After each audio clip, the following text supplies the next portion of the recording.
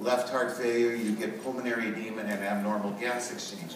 But what we're going to now talk about is the other one, the effects of ventilation on the circulation, which is the title of my talk. And there are two things that happen with breathing. The first is, is that lung volume changes. And lung volume changes are going to affect pulmonary vascular resistance. And as the lungs get really big, it will also compress the heart. And there are the effects of changes in intrathoracic pressure. With both spontaneous and positive pressure breathing, lung volumes change. But with spontaneous breathing, pleural pressure becomes negative, and with positive pressure breathing, pleural pressure rises. Thus, the primary hemodynamic determinants of the differences between spontaneous breathing and positive pressure breathing are due to the changes in intrathoracic pressure and the energy necessary to create that change, because the lung volume changes are the same. But lung volume changes have a profound effect on cardiovascular function, so let's talk about them. The lung is richly innervated with autonomic parasympathetic and sympathetic nervous system afferents. And every time you take in a breath, you get a vagal withdrawal, and we know that as respiratory sinus arrhythmia. It was described in 1936 by Anrep, but more importantly, it connotes normal sinus function. And because of that, today in diabetic clinics, they put a pulse oximeter on the patient and they look to see if the heart rate variability increases, which would be the heart rate variability in sync with the respiratory rate. And if it's good, the patient's diabetes is under good control. It's a very sensitive measure. So loss of respiratory sinus arrhythmia connotes dysautonomia.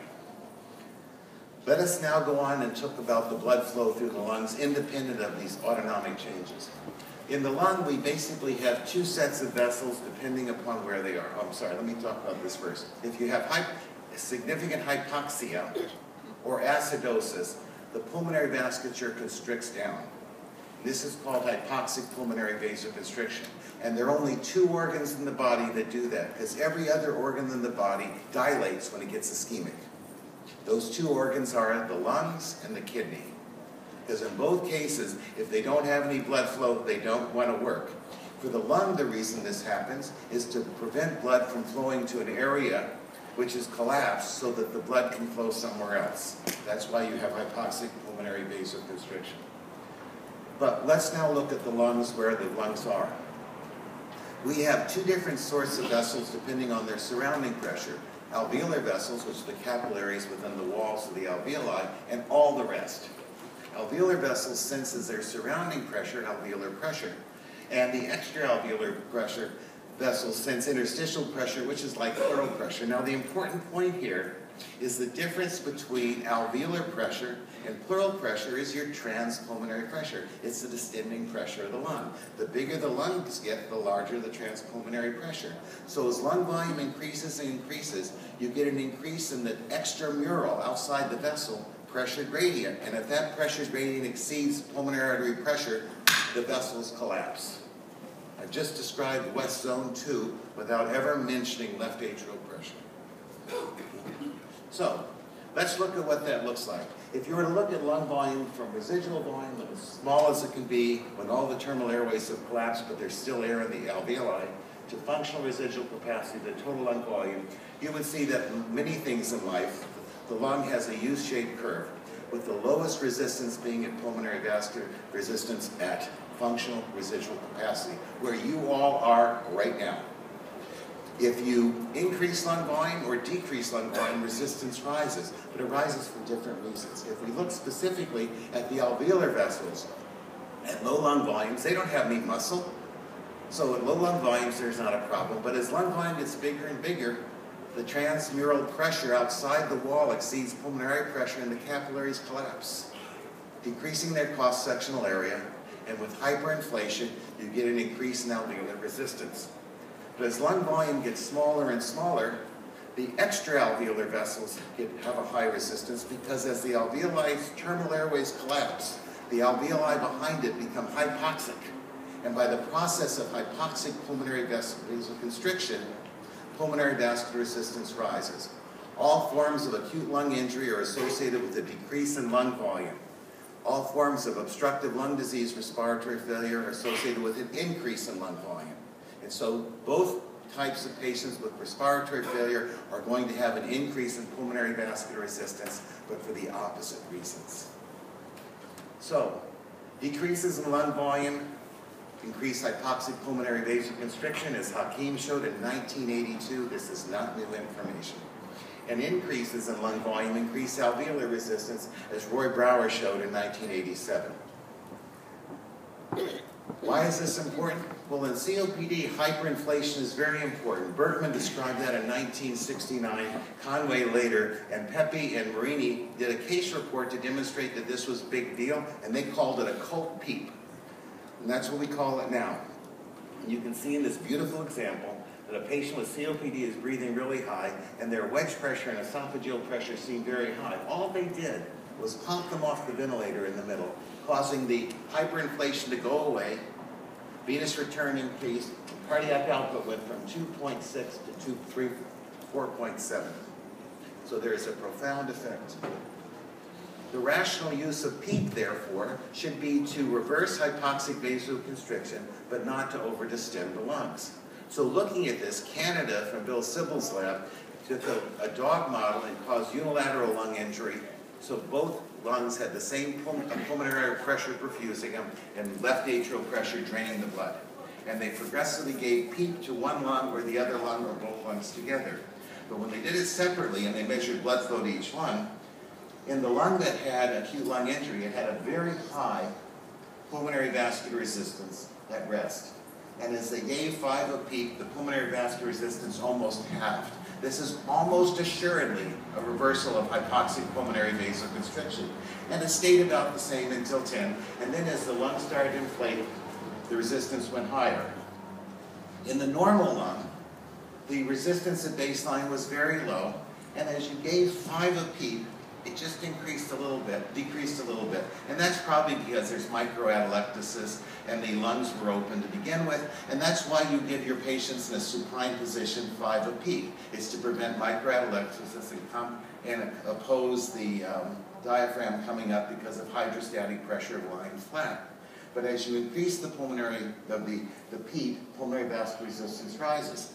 But look, there's nothing special about PEEP or lung injury. Once you've inflated the lung, the pulmonary vascular resistance will increase the same in all lungs. And thus the goal of finding the best PEEP is not only to find the best compliance, but also the minimal amount that improves oxygenation, as Peter Suter showed and stated in 1975. Let's go on from this. As the lungs expand out with hyperinflation, the chest wall goes out, the diaphragm descends, but the heart is trapped in the cardiac fossa. And all volumes in the heart decrease. It's a mechanical effect of increases in lung volume due to the increase in intrathoracic pressure. And this is just a nice example of one patient at zero PEEP and 10 of PEEP, the same patient the difference between the two was about a minute. And I want to show you the end inspiratory uh, volume of the, heart. There it is at ZEEP. There it is at PEEP. The amount of volume in the heart is half. That's a pretty big change, isn't it? Okay? So increases in intrathoracic pressure will profoundly decrease volume. Let's go through why. Okay, to understand this, you're going to have to accept a hypothesis, okay? The hypothesis is that the heart is in the chest. Do you accept that hypothesis? You do? You, no, you don't. Who doesn't accept that hypothesis? The heart is in the chest. You're a heartless person. You all agree that the heart is in the chest. Is that correct? Good. Well, then you understand what's going on. The heart is in the chest, a pressure chamber inside the pressure chamber, and thus increases and decreases in intrathoracic pressure must affect the pressure gradient for venous return to the heart and left ventricular ejection from the heart independent of the heart itself. It's that simple. So, if we were to look at cardiac output and venous return and try to see how they look, if you were to increase right atrial pressure by increasing fluids giving to a person, you'd see that their left ventricular function curve would go up. But since the also, the venous return curve is on the same thing, so that if you increase right atrial pressure, you're a, a dam to venous return and venous return falls, you would see that the venous return would go down. And thus you have two opposite equations that are together that says that we exist at an equilibrium point that says that there's only one CVP and cardiac output we could ever have for a given blood volume, blood flow distribution, and ventricular pump function. Okay? That's where you live. Okay. But since the heart is in the chest, and the rest of the body isn't, as you increase or decrease intrathoracic pressure, you're going to cause this ventricular function curve to fall this way with negative swings in intrathoracic pressure and forward with positive ones. In 1984, when I was first moving to Pittsburgh from Johns Hopkins, I did this study. Now, I want you to raise your hand if you were not born yet in 1984. Don't be shy. Okay. A couple of you did. Okay. Then I can confidently tell you we knew this before you were born. Okay. Watch. This is an intact animal model. I'd operated on it previously, put a flow probe on the pulmonary artery, and I'm integrating the flow probe data to get the stroke volume of the right ventricle. We have a spontaneous inspiration here shown by the pleural pressure falling. CVP becomes slightly negative. Because of the CVP becoming slightly negative, there's a rush of fluid back into the chest, and right atrial transmural pressure, the filling pressure of the right ventricle goes up, and stroke volume of the right ventricle rises. So I get a fall in CVP and a rise in cardiac output. Look at what happens with positive pressure breathing. I get the increase in airway pressure, I'm sorry, pleural pressure causes CVP to rise, filling pressure goes down, and I get a fall in venous return. Now, in another lecture, I would tell you that's the basis of pulse pressure and stroke volume variation, but we're now talking only about heart-lung interactions. So, if I give a spontaneous breath, I get a fall in CVP, right? CVP becomes lower, but the cardiac output goes up. But it can only go up so much because once you get the negative CVP, the veins collapse down and they're flow limited. But the cardiac output goes up slightly with no change in ventricular function, and this is referred to as a thoracic pump, and it's the reason why cardiac output is slightly higher during spontaneous breathing than during apnea. In this study, what I did is I have a uh, flow probe on the uh, pulmonary artery, and you can see it on the top, and I have two spontaneous breaths here, and then I have an occluded breath, and you know it's occluded because the pleural pressure here and the airway pressure in the bottom decrease by the exact same amount because you have no change in transpulmonary pressure. So what you can see is that with spontaneous inspiration, cardiac uh, stroke volume goes up, but with an occluded airway, look how high the stroke volume goes up. This is the reason why patients with obstructive sleep apnea develop heart failure.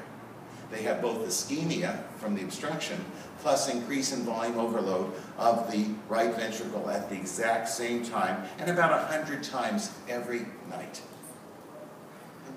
Well, spontaneous loaded inspiration increases venous return. So if you do an angioplasty in a patient, as we showed in 1980, patients start to breathe in really deeply when they have heart failure.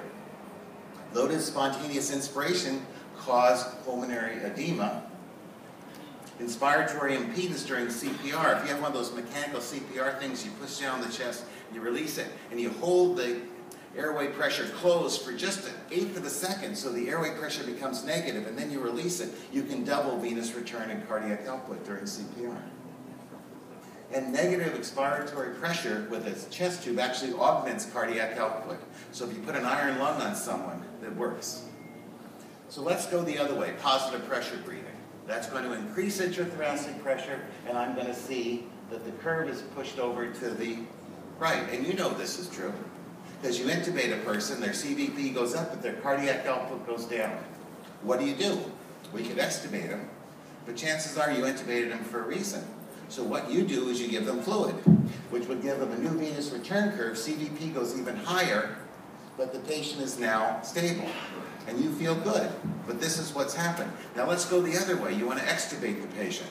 Every time you take a patient off positive pressure breathing, you're going to increase venous return, as Francois Lemaire showed us when his CV, when his wedge pressure went from 18 to 45, right? And that was caused by the fact that when you push the venous return, curve, uh, the ventricular function curve this way by decreasing the intrathoracic pressure. If you've got a lot of volume on board, you go into pulmonary edema. That's why we say that when you're ready to wean a patient, make sure they're dry. And that was shown by Francois Barrard in humans. I only showed it in animals. That what I said was exactly true in terms of the flow changes. Furthermore, Jamie Mesquida in our lab looked at the actual dynamic movement of blood out of and into the chest is the difference in the stroke volumes of the right and the left ventricle. And what he showed was is that the tidal volumes progressively increased. There was a progressive fall of blood out of the chest and back into the lung. So you see that with every positive pressure breath, as the inspiration occurs, lung blood volume goes down, and when you breathe out, lung, lung volume comes back. Okay, well, it's not as bad as all that. Because when um, uh, Paul Vandenberg was getting his PhD thesis many years ago in 2002, I guess, we measured all sorts of things, and we discovered when we gave CPAP to post-op surgical patients, their cardiac output didn't go down very much. Why? When we measured intra-abdominal pressure, it went up just as much as the CPAP, and what we've done is pressurize the abdomen, increasing venous return artifactually with every with the CPAP. Well, this saves your patient's life a lot. But what happens if you have a person with tense ascites and they open their belly? Anybody anesthesiologist here? You know exactly what happens. Their blood pressure hits the floor. Because what you've done is you've taken away the capacitance. But this is very important. If you have heart failure and your volume overloaded, I can give you 20 of PEEP and your cardiac output won't change. Okay?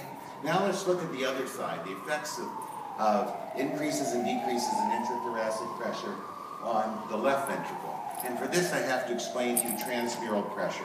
And that's really hard to do. So I'd much rather show you a picture of my kids. These are my kids. This is, this is an old picture. They're all grown up. The one over here, Stephanie, was married two years ago. Daniel's the oldest. And that little squirt over there is Jill. She's a mountain climber when she's not an engineer. Cute. Do you care how tall my kids are or how high their heads are above the water? It's their height of their heads above the water, which is their transmural pressure. So they might have these heights, but this is their transmural pressure. So it's not the air left ventricular pressure you care about, it's left ventricular or aortic pressure relative to pleural pressure. Okay? So many years ago in 1979, when we published this paper in, in a local journal, the New England Journal, what we showed was that you can consider the heart to be inside the chest, and if your normal pressure in the aorta, for example, sorry, your normal pressure inside the aorta, let's just say is 150, and the pleural pressure, intrathoracic pressure is zero, then everyone would agree that the afterload on the left ventricle is 150. And if I gave you a pure alpha agent, phenylephrine, and increased your mean arterial pressure up to 200, then everyone would agree you've increased the afterload, right? But watch, I can have the exact same 150 and not change it one bit, but have a person breathe in against an occluded airway, which is called a Mueller maneuver, maneuver or obstructed inspiration, as you see with vocal cord uh, paralysis or laryngeal spasm, and I make that minus 50, and I'll have the exact same increase in afterload, because the heart has to start at a pressure well and pumped into the extrathoracic vascular space. So the number of studies that have shown the negative swings in intrathoracic pressure impede left ventricular ejection and cause um, and cause pulmonary edema are too numerous to count. Since you decreased afterload, you might actually make the left ventricle better even though venous return decreased. And so in patients, in, and this is a dog in heart failure, as we progressively increased pleural pressure, intrathoracic blood volume fell. That wasn't a change but cardiac output went up, analogous to giving them nitroprusside. So PEEP at low levels doesn't hurt. There's a minimal effect at five, but if you actually are in heart failure, you'll see cardiac output going up. So the application of this and the clinical reason you need to know it, and these are my last three slides, is that any relative increase in intrathoracic pressure will decrease left ventricular afterload. I can't give you positive pressure very much, but if I abolish the negative swings in intrathoracic pressure by giving you CPAP or intubation, I should augment ventricular function. And the number of studies that have shown that CPAP decreases cardiac stress are too numerous to count. Today, the number one treatment for cardiogenic pulmonary edema is CPAP because it works on the very first breath to take away the negative swings in intrathoracic pressure. And in fact, uh, Radisson in his PhD thesis showed that patients with acute cardiogenic pulmonary edema had an improvement in ventricular function and decrease in ST segment elevation when they were given CPAP, but only when the negative swings in pleural pressure were abolished. Is it clinically relevant? Yes. Giving CPAP versus oxygen significantly improved the amount of patients who didn't require intubation and their survival was significantly higher. What else did he get for Christmas? if you want to treat a patient and all you do is put mass CPAP on, look at the survival benefit. And it doesn't matter if it's BiPAP or CPAP, it's the same. You're not giving the positive pressure breath, you're abolishing the negative swings in intrathoracic pressure. Okay? We often give BiPAP because the patient likes it more, and believe me, I'm a big fan of making the patients happy. But the physiologic benefit is by abolishing the negative swings.